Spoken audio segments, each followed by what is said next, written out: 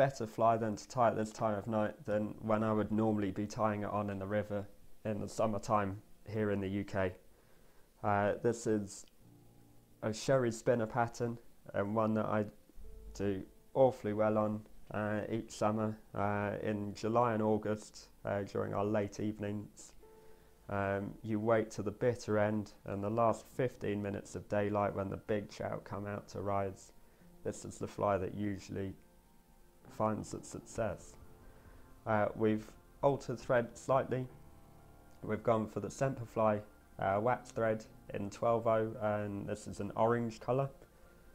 Um, very simply because this adds a little bit of colour to the fly that we're tying. Start our thread and take it all the way back down. Uh, this is on the Partridge SLD. Uh, it's a size 14. I tie these all the way down to a 20. And take it back.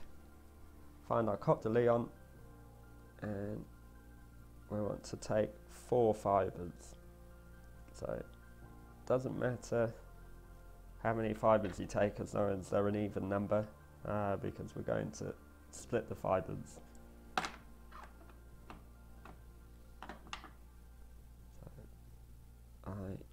Tie these, you want them almost a body and a half long. So being a spinner pattern, these are the adults coming back to lay their eggs. Their tails are much longer than the duns. So we therefore as fly tyers have to represent that stage. So trim that out. Now I'm going to take some of my 180 nano silk, pull a section off.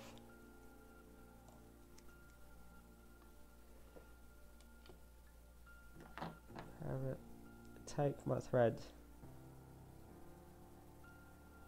to where tail starts, take the section of nano silk around the bend of the hook.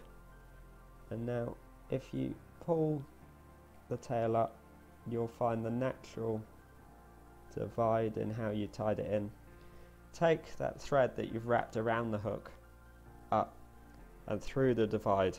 So half the tail is on one side and half on the other. And it will look a bit awkward at first. But drop your thread over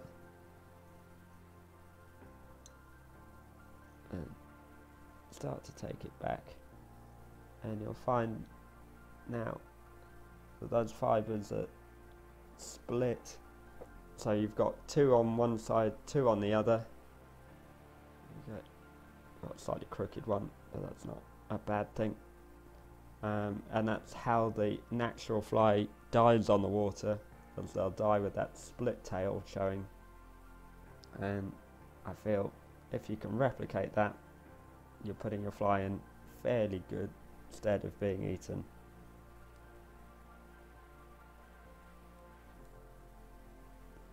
Uh, trim the excess of that off. So you can leave that orange body that you built up just at the back area here and then start your body just a short way in front and here I've got uh, that super fine dubbing again uh, in the color rust. And we'll pop that up. And again and we've tried to build a slight taper going forward. So if you've got too much dubbing, just pull some out. Like with many hackled flies, you want to leave yourself plenty of room at the front. And this time,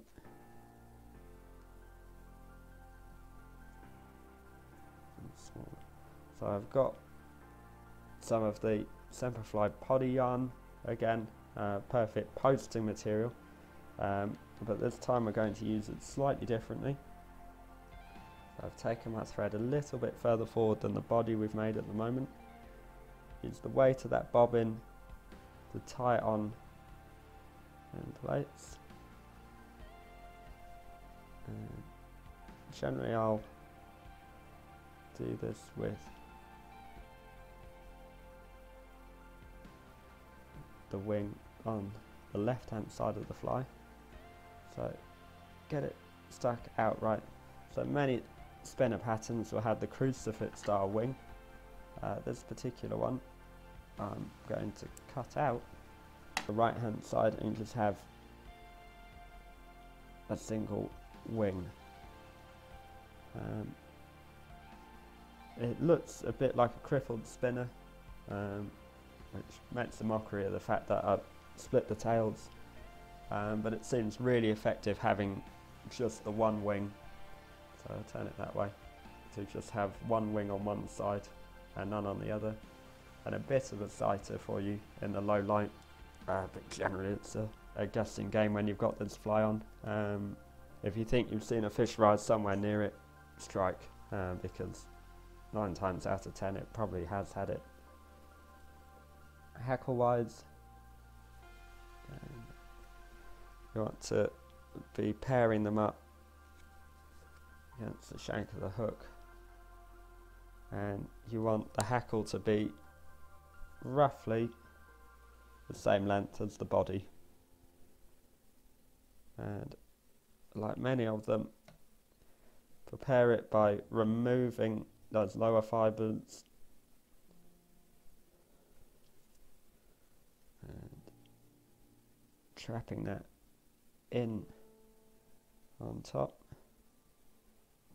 rock it backwards and forwards to get it in position.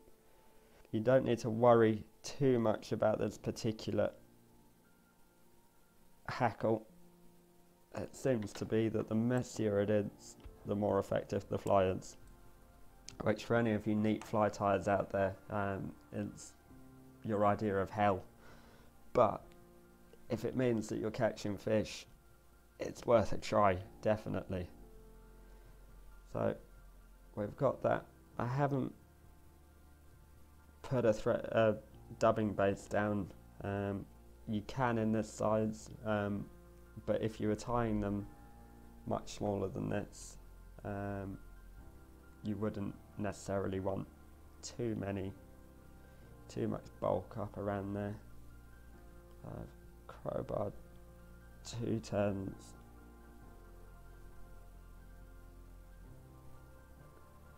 behind a second in front and take the thread up as I say don't worry if you trap any fibres on this because it seems to be that the messy version of this particular fly is the effective one. Uh, get your locking turns in front. In with the scissors and ease that out. Show your wings sat roughly where you want it to. Take your whip finish tool um, once, twice, and nip out your thread.